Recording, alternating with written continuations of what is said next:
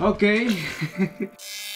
¿Qué onda? ¿Eh? Un video bastante, bastante diferente y la verdad es que tenía muchas ganas de hacerlo. Esto es un video eh, básicamente probando el cereal Carlos V. No tengo ni idea si el cereal ya existía en otros países o si este cereal ya tiene mucho tiempo aquí en México. La verdad es que no tengo ni la menor idea. Simplemente creo yo, creo, como digo, no estoy 100% seguro, creo que este cereal es nuevo. Y por esa razón dije, bueno, Vamos a probarlo. Para quien no sepa qué es Carlos V, Carlos V es una compañía la cual siempre he visto desde hace muchísimos años, prácticamente desde pequeño, que hacía chocolates, chocolates en barrita y los cuales la verdad es que estaban muy buenos y si no mal recuerdo eran económicos. Pues eh, sacaron su cereal, así como Nesquik tiene su propio cereal, pues también el Carlos V tiene su cereal. Pues vamos a ver qué dice. Aquí ya viene con lo de exceso en calorías y pueden ver que dice exceso en calorías. Bueno, esto lo tiene prácticamente todo.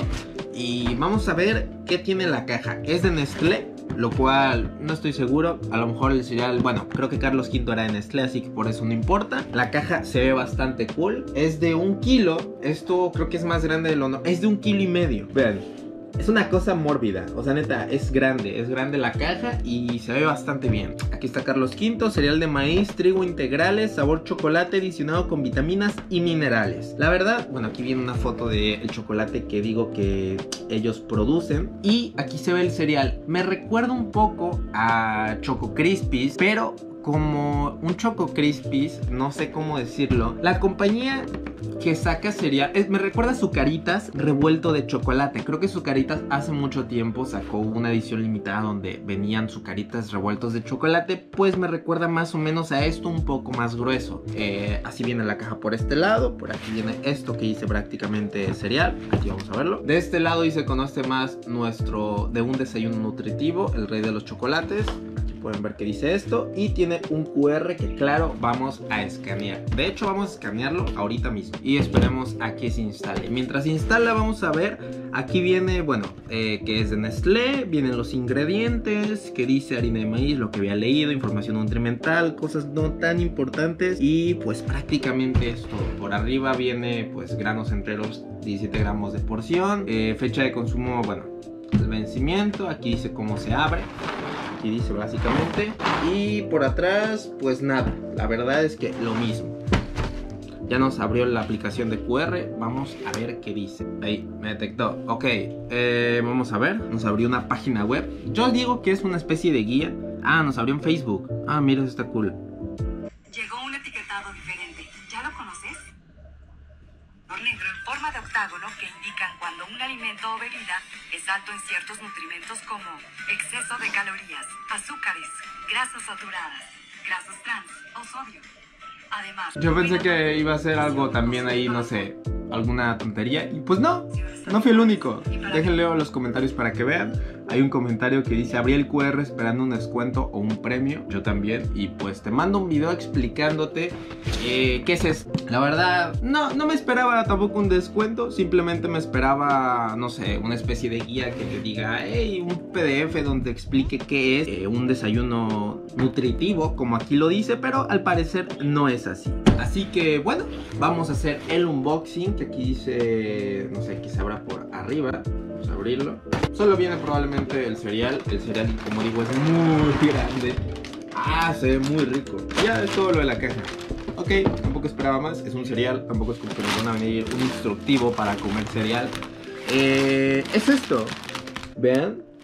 Se ve como un sucaritas revuelto en chocolate. Vamos a probarlo, vamos a ir por el plato y vamos a ver si está bueno o realmente no.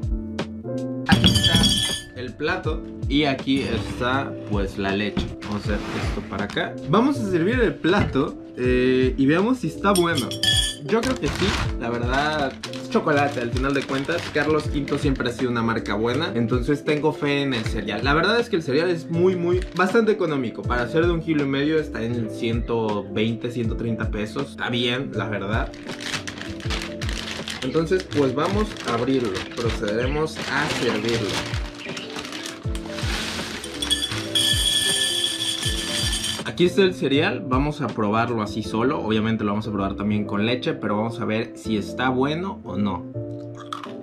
Mmm, sabe diferente, es un chocolate diferente, pero sí está bueno. Yo digo que con leche sí complementa mucho el sabor. Vamos a ponerle leche y veamos qué tan bueno o qué tan malo está. Está un desayuno. Por cierto, este sí es mi desayuno, así que le doy un punto. No he comido, así que sí tengo hambre y se ve bastante bueno. Te digo, está bueno, simplemente que yo creo que con la leche sí va a complementar el sabor para que esté como un cereal muy rico. Vamos a probarlo.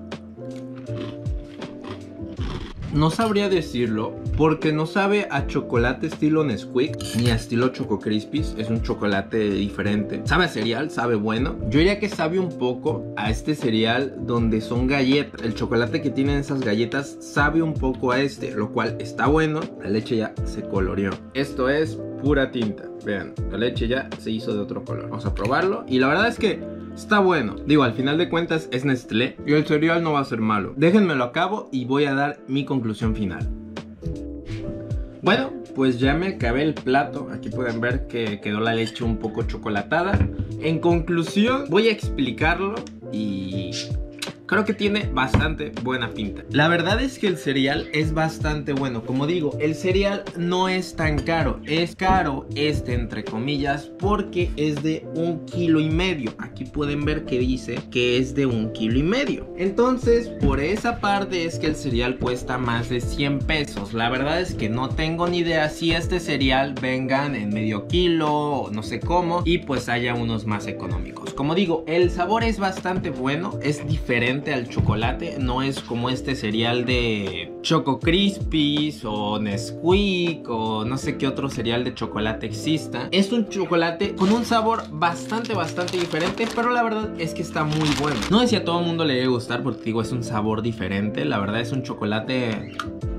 Es chocolate, pero no sabe demasiado, demasiado. Es raro, la verdad es muy raro, pero la verdad es que sí está bueno, no voy a negarlo. Es Nestlé, al final de cuentas, Carlos V. Claro que va a estar bueno. En fin, mi conclusión es que lo recomiendo. Si lo llegas a ver y tienes antojo de probar algo nuevo, pruébalo. La verdad es que está bastante bien. Tengo ganas de hacer otro, pero no sé si todavía esté. Y es el cereal que creo que sacó la compañía que sacó, no recuerdo cómo se llama, pero era una que sacó de pan de muerto y de pan de, no sé, algo de esto no sé si todavía está en las tiendas. Voy a buscarlo. Y si veo que les gusta la idea, probablemente igual traiga un video probando ese cereal porque me parece curioso. Creo que si es edición limitada. Igual voy a probarlo. Y bueno, espero que te haya gustado este video. No olvides suscribirte si no estás. Yo soy Alejandro Pulido. Y ahora sí, hasta otra.